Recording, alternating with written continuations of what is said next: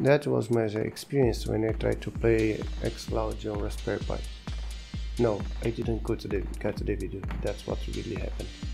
Um, and besides that, sometimes the controls wasn't fine, and depending how much you move the camera or the, the stream, look at that. I stop it, you see, and I found a way to solve this issue and basically installing an Android version on Raspberry Pi.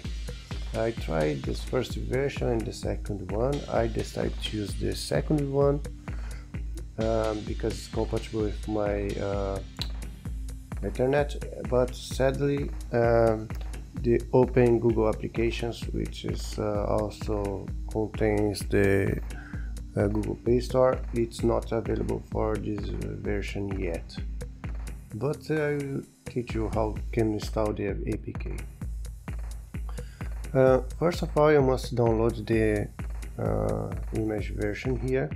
Just click download and select uh, some mirror to download the file.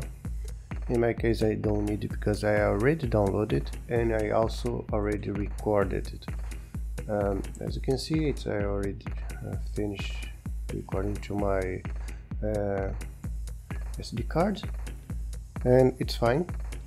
Uh, you can also use it uh, use Windows. I will leave some link on the description. Um, I also recommend you to expand the the the list partition to so that you you'll be able to use the entire uh, disk space if you need uh, just I use this uh, application to resize the partition. And this process is quite fast so why not right? Yeah and you must install the SD card on your Raspberry Pi. And um, install the Ethernet cable. You must use a gamepad so it's already connected here and cable to be faster uh, I also need a mouse and keyboard to do the first uh, configuration. And before installing the, the power supply don't forget to connect the monitor to your Raspberry Pi first. Once you do it you can just boot and you see the startup of the Android. Once it finishes you have some logo like this the Raspberry Pi version, the Android version that we installed. Um, must move move the screen here to the uh, to the right. We have the access to the settings. We must go down to the system. Uh, advanced settings, you must select uh, what's your audio device output. In my case, I'm using HDMI the HDMI 0. I also tried to use the hardware video acceleration uh, decoding, but it does not working.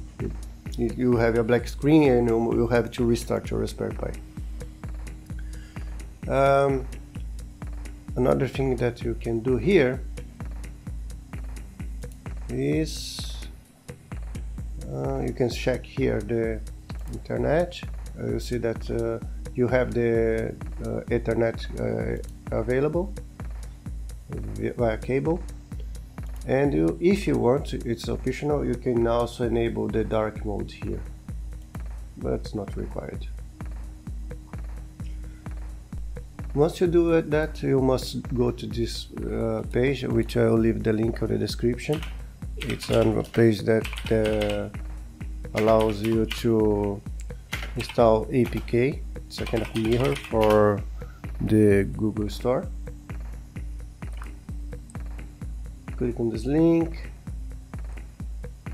You see that uh, you must install the latest version.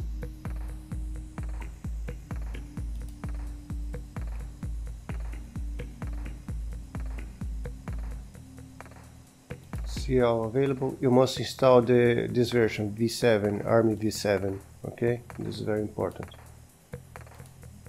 Download. You have a link here. Download the APK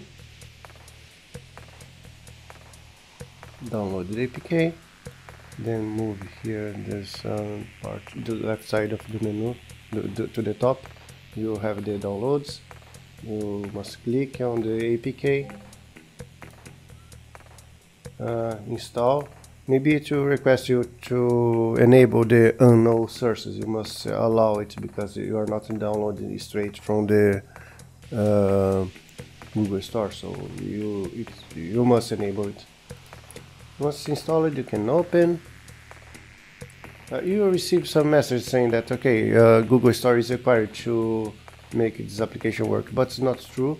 Uh, you receive this message like three or four times when you start up the application. Just ignore it and click OK. Um, you must sign up for for gaming for, for to play the game. After signing up uh, you have the you must wait a little bit because you download all the library icons and things like that. All the information of Raspberry Pi once uh, you must click on cloud here and then you can play using the, um, the gamepad uh, you receive this message the first time you run uh, saying that you are in full screen uh, if your gamepad does not answer, just disconnect and connect again, okay? It will automatically detect. Um, when I was playing with it, I didn't see this huge frame drop uh, as you could see in the first video. First video I tried the native uh, uh, Linux with a browser, and but here I'm using uh, Android and the Android application. And You see that is, is, a, is way better. To disconnect, you just must move the mouse to the left and you appear this menu or you can click in this menu for uh, this uh, Xbox button to leave the application. You can play other games as well, like Forza Horizon 5 that uh, was recently launched. Uh, and you can see that you're playing a, a beautiful game in a, uh, in a Raspberry Pi via stream you can see that you still have some delay can you see it's like uh, 100 milliseconds something like this. Probably after this uh, hardware decode acceleration being implemented it will reduce uh, the answer of uh, the commands as well. But you see it's working very well and that's it. Don't forget to subscribe my channel. Thank you very much and bye